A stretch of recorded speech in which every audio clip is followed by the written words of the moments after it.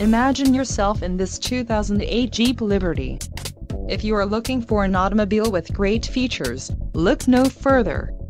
This vehicle comes with a reliable six-cylinder engine, connected to a smooth shifting automatic transmission. This vehicle's top features include 210 horsepower, 3.7-liter V6 SOHC engine, 4 doors, 4-wheel ABS brakes, air conditioning, clock, in radio display, four-wheel drive, front seat type, bucket and head airbags, curtain first and second row. This car won't be available much longer. Call now to schedule a test drive at our dealership.